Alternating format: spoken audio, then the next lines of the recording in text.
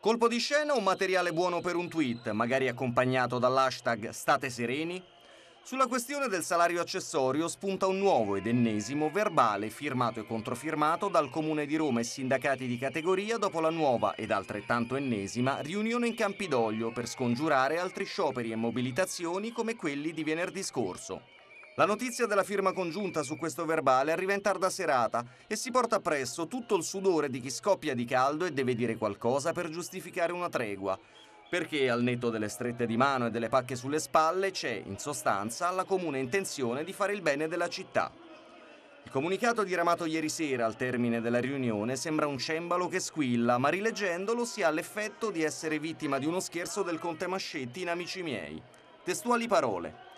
Arrivare in maniera condivisa, tenuto conto dei livelli retributivi già assicurati dalla disciplina decentrata dell'ente e del lavoro svolto fino a oggi, a un riassetto complessivo della macchina capitolina, al fine di renderla più efficiente per migliorare i servizi ai cittadini e per valorizzare le professionalità dei dipendenti capitolini.